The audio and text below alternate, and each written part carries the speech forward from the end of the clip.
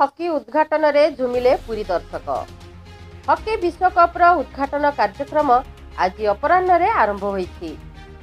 Puri Victoria hotel ସମ୍ମୁଖ ବେଳାଭୂମି city fest in ଓଲିସଲ୍ୟାଣ୍ଡରେ ଏକ ଏଲ୍ଇଡି ଟିଭି ମାଧ୍ୟମରେ ଏହି ଉଦ୍ଘାଟନ କାର୍ଯ୍ୟକ୍ରମର ସିଧା ପ୍ରସାରଣ କରାଯାଇଥିଲା।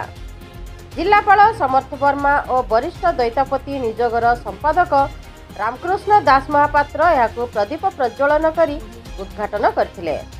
প্রদীপ প্রজ্বলন সময়ের বেদধ্বনি ও শঙ্খনাদরে পরিবেশ প্রকম্পিত হয়েছিল হাজার হাজার দর্শক উপস্থিত রহি এই উদ্ঘাটন কার্যক্রমকু উপভোগ করা সহ সংগীত ও নৃত্যর তালে তালে চকচে ইন্ডিয়া ধ্বনি দেই ঝুমিলে এই কার্যক্রমে পর্যটক মানে যোগদেই ভরপুর মজা নেইলে কার্যক্রমে অন্যমানঙ্ক মধ্যে অতিরিক্ত জিল্লাপাল প্রশাসন প্রদীপ কুমার সাহু ଅତିରିକ୍ତ ଜିଲ୍ଲାପାଳ ରାଜସ୍ୱ କୈଳାସ ଚନ୍ଦ୍ର ନାୟକ ଜିଲ୍ଲା ପରିଷଦର ମୁଖ୍ୟ ଉନ୍ନୟନ ଅଧିକାରୀ ତଥା ନିର୍ବାହୀ ଅଧିକାରୀ ଜ୍ୟୋତିଶଙ୍କର ମହାପାତ୍ର ପୌର ନିର୍ବାହୀ ଅଧିକାରୀ ସରୋଜ କୁମାର ସ୍ୱାଇଁ ଡେପୁଟି କଲେକ୍ଟର ଜିତେନ୍ଦ୍ର ପାତ୍ର ରାକେଶ କୁମାର ପଣ୍ଡା ଅତିରିକ୍ତ ପୌର ନିର୍ବାହୀ ଅଧିକାରୀ ମନୋଜ କୁମାର ବେହେରା ସହକାରୀ ନିର୍ଦ୍ଦେଶକ ପର୍ଯ୍ୟଟନ ସରୋଜ କୁମାର ପ୍ରଧାନ ଜିଲ୍ଲା ସୂଚନା ଓ ଲୋକସମ୍ପର୍କ ଅଧିକାରୀ ସନ୍ତୋଷ କୁମାର ସେଠୀ ଜିଲ୍ଲା କ୍ରୀଡ଼ା ଅଧିକାରୀ ଚନ୍ଦନ ସାହୁ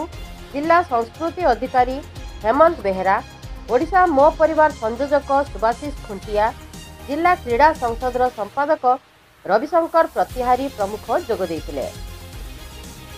ଶ୍ୟାମପ୍ରକାଶ ସେନାପତି ମଞ୍ଚ ପରିଚାଳନା କରିଥିଲେ। ପୁରୀରୁ ରଞ୍ଜନ ଦାସଙ୍କ ରିପୋର୍ଟ ଏକେଏନ୍ ନ୍ୟୁଜ୍।